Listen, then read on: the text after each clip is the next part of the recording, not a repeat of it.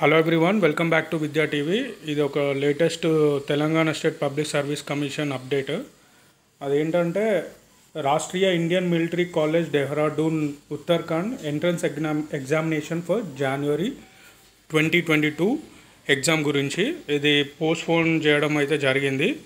So last date వచ్చేసి twenty first June previous date వచ్చేసి tenth June అని ఉండేది. సో కోవిడ్ వల్ల మళ్ళీ డేట్ అనేది ఎక్స్టెండ్ చేశారు. So Therefore, last day for the for submission of application is 21st June. Right, uh, that's all for this video. Thank you.